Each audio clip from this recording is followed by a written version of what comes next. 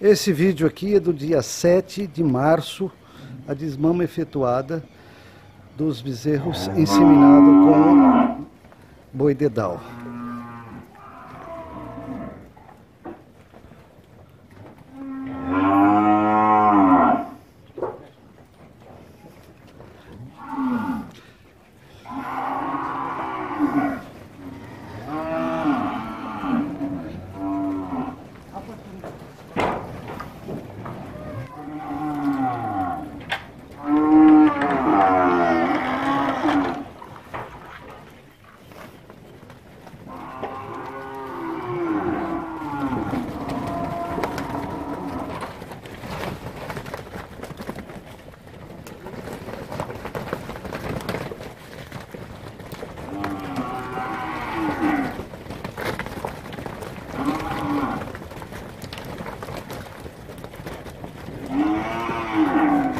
Essa desmama, ela foi pesada, ela está com 258 quilos, macho e fêmeas.